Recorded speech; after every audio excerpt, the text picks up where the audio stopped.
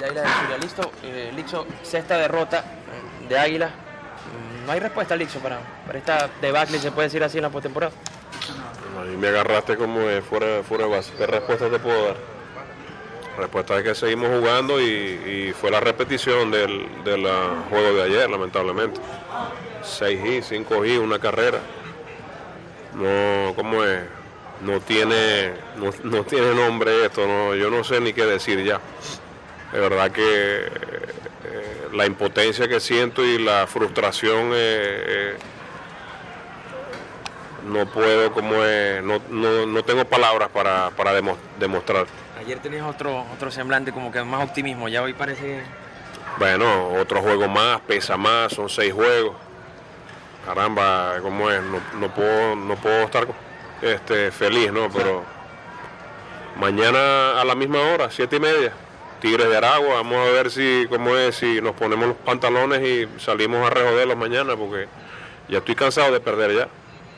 Ah, yo, no, yo no quiero seguir perdiendo, yo quiero, como es, terminar bien, así como es, nos eliminen, pero quiero terminar bien y, y echarle vaina como es a, a alguien. Nosotros, nosotros no, no merecemos esta verga, pero así, así- así es el béisbol. Cuando te caen limones del cielo vas a hacer limonada. Entonces, eh, lo que no quiero es que ellos bajen la cabeza. Yo no voy a bajar la cabeza, yo voy a terminar con la frente en alto y saldré de aquí con la, con la frente en alto. Porque creo que, que mu- mu- mucho bre- bregamos, mucho trajinamos como es para meternos en esto y las cosas no nos están saliendo bien, pero así es esto, ¿no? No hay resignación, por eso. Por las seis derrotas, por lo que dice, bueno, quiere seguir, seguir peleando, eso no quiere decir que están resignados todavía. No, yo no, yo no me voy a resignar, yo no me voy a resignar. Si tanto como es, na- nadamos para esto, no, no. Y si te digo, eh, ojalá que ganemos 10, como es, 10 en fila, a ver eh, cómo es, qué es lo que, qué es lo que sucede, ¿no? Pero, y si nos eliminan, voy a, voy a echar vaina, le voy a, le voy a echar le voy a echar verga a los demás. A mí no me van a joder en mi casa así como así. Voy a pelear peleando y salgo a jugar y me voy a partir el culo ahí. Porque eso es, eso es, así era como, como jugaba yo.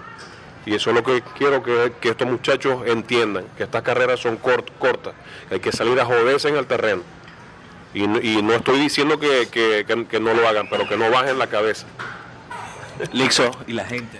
La gente no vino hoy. La gente necesita es- que, el- que el equipo convenza. Que le tienes que decir toda la gente. Bueno, aquel que se sienta fanático de verdad, eh, no es solamente en las buenas, mi hermano, es en las malas. Sé que hay, hay frustración, hay, eh, hay ideas como es encontradas, ¿no? De que, de que la gerencia no invierte, cualquiera, cualquier cosa como es que el, que el fanático quiera decir. Pero creo que los muchachos de verdad están tratando. Te lo digo yo porque, porque, porque siento y padezco lo que ellos padecen ahí adentro. Se te hablo con, con, con propiedad, con los pelos en la, en la mano. Aquel, que, aquel fanático que diga que, que somos una mierda, ok, está, está bien. Pero necesitamos el apoyo del verdadero fanático zuliano, de aquel que quiere ver al equipo ganar, salir de esta racha, no es nada más, es el dedo, el dedo, el dedo a la llaga, sino que necesitamos el, el apoyo de los fanáticos también, pues de que vengan, de que, hey, si vamos a, eh, vamos a salir de esto, lo, lo, lo lo otro.